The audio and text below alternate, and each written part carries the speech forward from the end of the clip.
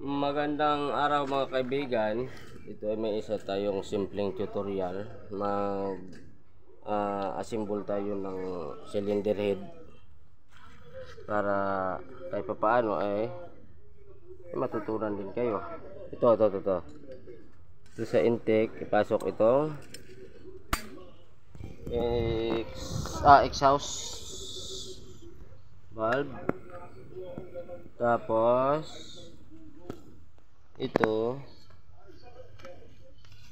pag ganito yan, yung maluwang na spring, kasi may mapa dito, makitid, maluwang, ayan, yung maluwang sa babaw. Oh, ito, double spring kasi eh. Ito, kinon din, maluwang sa babaw. Ito, mas makipot. Ayan. Ayan po. Tapos kailangan nyo dito sa kanyang fan para mag-press kayo ng special tools ay hindi siya ah, bibigay. Ganito. Ayan. Ayan. Tapos ilagay ang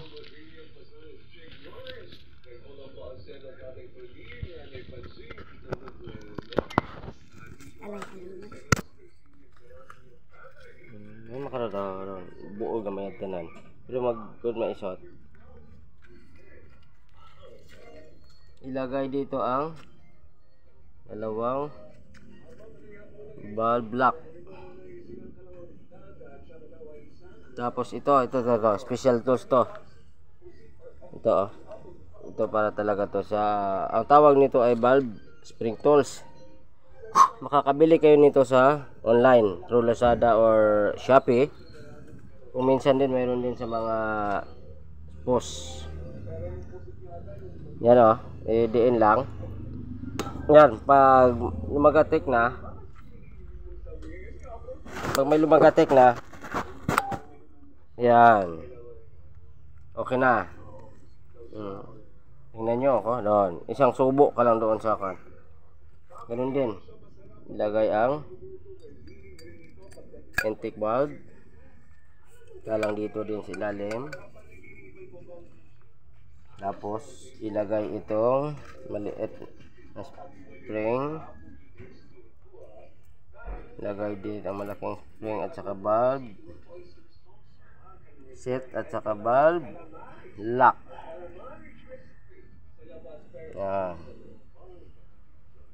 Para kahit pa paano ay matutunan din kayo. Tata tata tata yan. Pag lumagatok na okay na yan. Dito naman tayo sa paglalagay ng uh, camshaft camshaft ito ang tawag dito. So lagyan ng lubricant oil. Pagkatapos ganito lang yan. Hmm. yan pasok na. Yon pasok na. Pagkatapos ito oh mapapansin niyo ito oh, oh ito walang walang thread dito oh. Dito sa kabila may thread oh. Yan oh. Yan yan. May thread. So ito may thread banda eh nasa labas banda yan ha? Tika eh pasok muna natin itong ganyang rocker arm. Tapos ito kung mapapansin niyo oh ang kanyang balancer ito to to yan oh yan yan dito siya ito dito siya tumatama pag ganyan yan, pag ganyan. Kasi pag nagkabaliktad to na dito yung nilagay sa kabila, hindi yan naandar. O, pag ganyan talaga ang tamang paglagay. Tapos ito yung sinasabi kong uh, may trade o, oh, yan o. Oh, dapat sa labas banda yan. Ito, dito, pasok dito, yan. Hmm, tapos, ipasok din dito hanggang maka pasok na siya ng tuluyan yan yan yan yan yan tapos idiin yan tapos ka dito din Kabila. Oo. Pagpasok ka dito. Yan. Ganin, ganito din. Ganito din may kwan din dito. May may thread din dito sa kabila.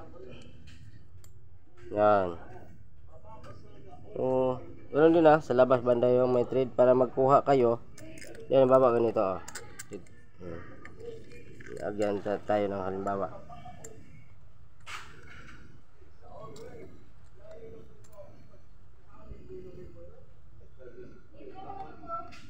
Malalagay tayo ng halimbawa ha. Ito oh. Ipasok na siya para ba kung sakaling magkuha kayo ng mag-ayos kayo at saka kukunin siya diyan. Yan. Yan. Kubukanin na siya. Ipasabit dito yung tree dito sa kabila. Yan. Yan. Yan. Para hindi kayo mahirapan. Yun lang. Simple. Saka ito talaga dapat nandito yung posisyon niya. So, sana mga kaibigan ay may natutunan din kayo sa pag-install ng cylinder head ng Rossi ah, 100. At saka maraming maraming salamat po. Paki-sub na lang po yung channel ko at paki-like, paki-share. Maraming salamat po.